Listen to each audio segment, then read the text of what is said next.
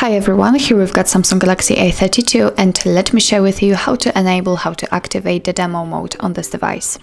So firstly we have to find and open the settings and now let's scroll down in order to find developer options. If you do not have this option applied in your device then no worries just find our video about how to activate the developer options and then go back to this tutorial. So let me enter the developer options and here we have to scroll down and under the auto update system we've got the demo mode. So let's tap on it and as you can see uh, here we've got actually two options. We can tap on enable demo mode and as you can see actually nothing changed. So um, so it uh, has been just activated.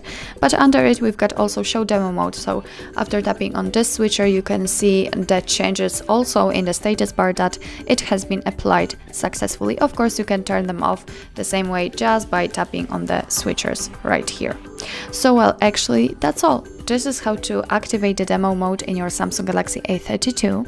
Thank you so much for watching, I hope that this video was helpful and if it was, please hit the subscribe button and leave the thumbs up.